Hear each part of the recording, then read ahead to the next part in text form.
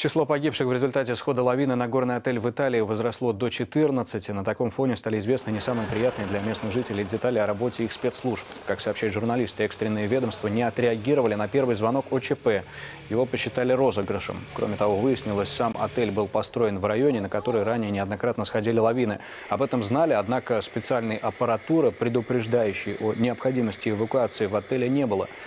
На месте трагедии шестой день идет поисковая операция, и накануне спасателям удалось вынести из разрушенной гостиницы трех щенков. Специалисты называют это добрым знаком. Собаки выжили благодаря сохранившихся в здании так называемым воздушным пузырям. Значит, людей, остающихся под завалами, все еще можно спасти. 15 человек числятся пропавшими без вести.